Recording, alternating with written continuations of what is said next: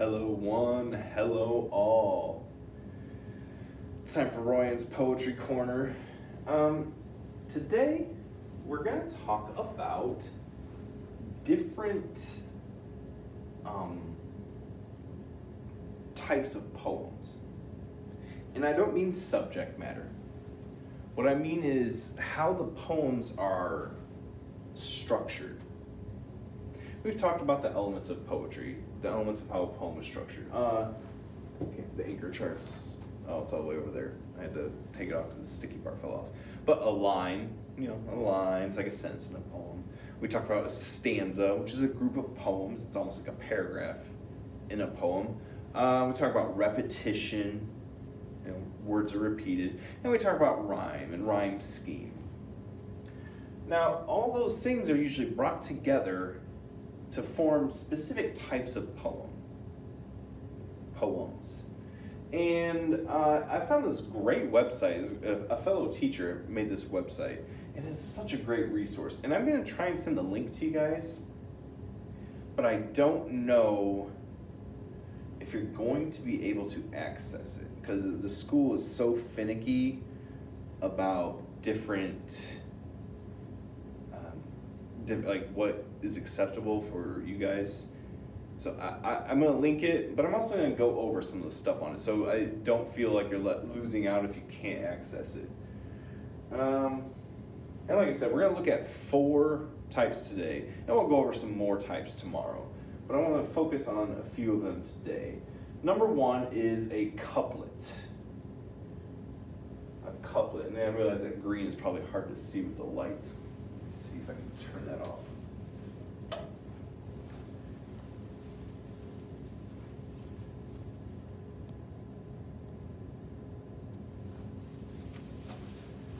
Eh, I don't think that helped anymore. Maybe it'll look okay for you guys when you're up close to the screen. Couplet. Okay, a couplet is a unit of verse consisting of two lines that usually rhyme. Now, you've all heard the word couple, I'm sure. Give me a couple minutes, guys. Oh, I'll be there in a couple. A couple means two, usually, in, general speak, when you're conversing with someone normally. A couple minutes, guys, I'll be there. So a couple means two. So a couplet is simply two lines, a poem that consists of two lines. And they usually rhyme. And it has an example right here. It says nature's shows. Nature puts on its little puts on little shows every time it rains or snows. So shows and snows both have the same, end rhyme sound. So a couplet is two lines. It's a poem that usually it's consisting of two lines that usually rhyme. Now the key word there is usually, because maybe they don't always rhyme. But usually it's two lines that rhyme. A two-line poem.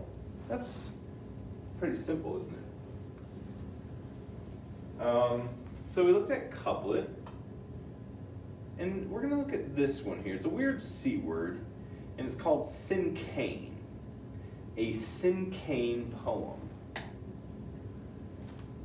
And I'm actually, I'm going to get you guys these uh, screens. I'll, I'll get screenshots and send them to you. Cinquain. Cinquains have five lines. Line one is a title, a noun. Line two is a description, two words, Line three is action words, so verbs. Line four is a feeling, four more words. And line five, five is a title, synonym for the title, one word. So this example, dogs, furry friendly, barking, fetching, playing, friends when you need them, pets. Line one,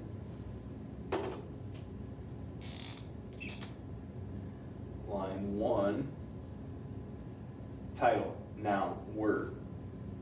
Oh, sorry, connected that to the wrong. The title, dogs. It's a noun, one word. You know, if you wanted to do um, toys, you could start off.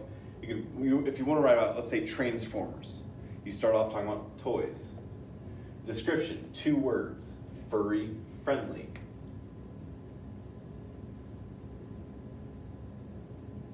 Line three, action, three words. Barking, fetching, playing. So that's, see it says, guys, it gives the description right here. Cinquain poem has three words in that line. Line four, feeling. Four or more words.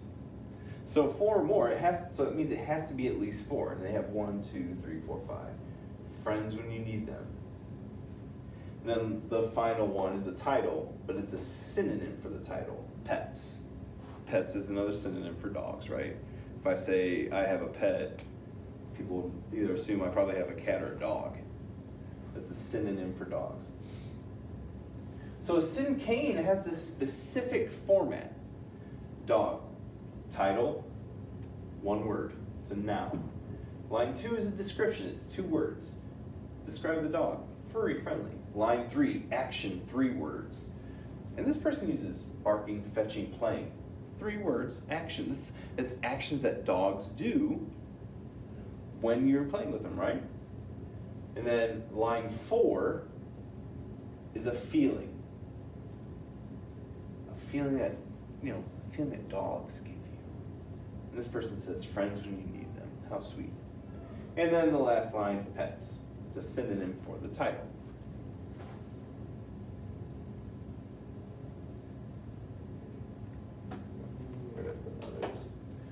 Okay. So we've looked at a couplet, we've looked at cinquain. Ooh, acrostic poems. I really like acrostic poems, guys. Um, acrostic poems are cool in their simplicity. Maybe? Okay. Acrostic. An acrostic poem uses the letters in a topic word to begin each line. All the lines of the poem should relate to or describe the poem. Probably describe the subject of the poem. So for this instance, or this example, if you look over here, the acrostic poem is the topic of your poem. Each letter is written down right here. Sun. S-U-N. Every line in the poem begins with the first letter of that word. So sun, then we have sun shines brightly you up in the sky and nice and warm on my face. Acrostic poem. You could do, um, let's see here. You could do, let's go back to dogs.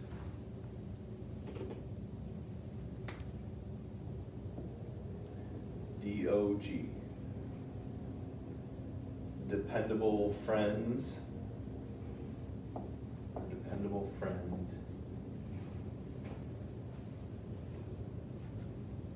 One that is always there.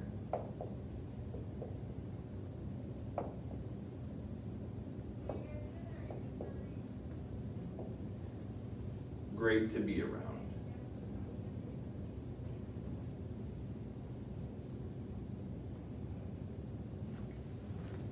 D-O-G, then you use the first letter just to write a little poem. I think it's cool. I think it's pretty creative.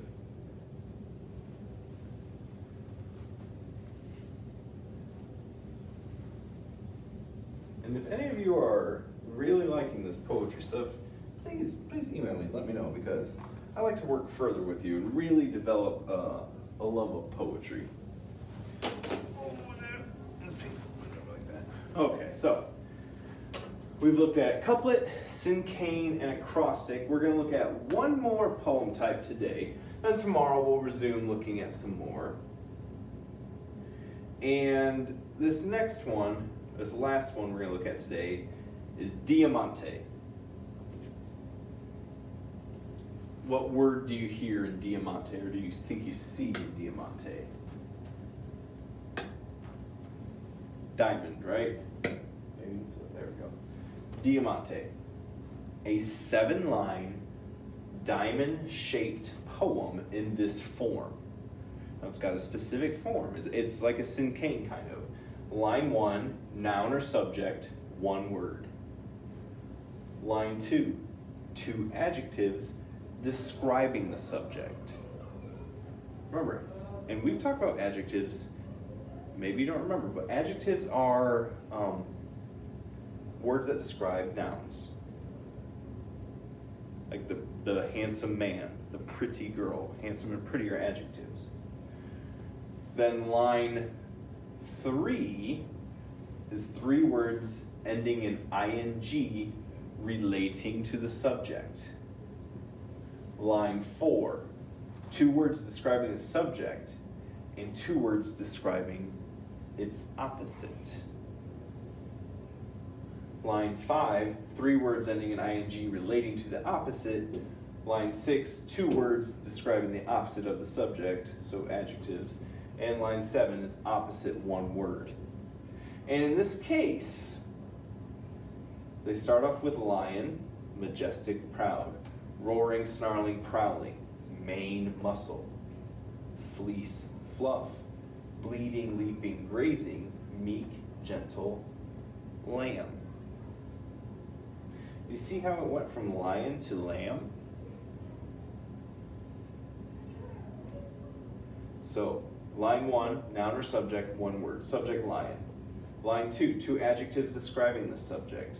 So, two words to describe the subject majestic, proud. Line two, three words ending in ing relating to the subject. So, these three words have to be end in ing and they have to relate to a lion roaring, snarling, prowling. Line four, two words describing the subject, so two words describing the lion, and two words describing its opposite. Well, we've been working with antonyms, so you guys should be pretty cool with opposites, right? So two words describing lion, mane, muscle. Then two of the four words, half of them, are about the opposite, which is a lamb, fleece, fluff. Line five, three words ending in ing relating to the opposite. So three words ending in ing relating to a lamb, bleeding, leaping, grazing. Then two words describing, two adjectives describing that subject meek, gentle, one word, opposite one word, opposite the lion, lamb. Yeah, I can get on board with that, right?